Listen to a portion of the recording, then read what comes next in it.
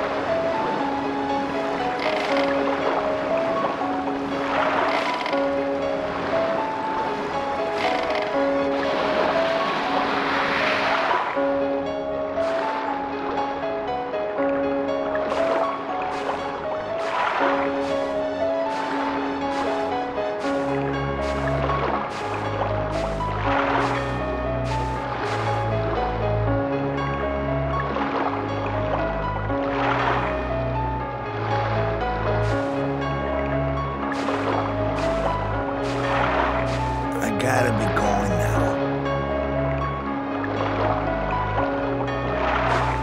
Thanks for the lift. If you're gonna deliver that ladder, you'd be a lot better off doing it before nightfall. You bet I will.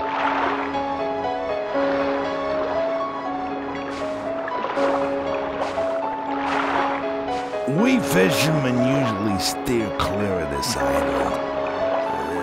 Gotta be hard working for the king, huh? Best of luck to you. Hey, be careful out there.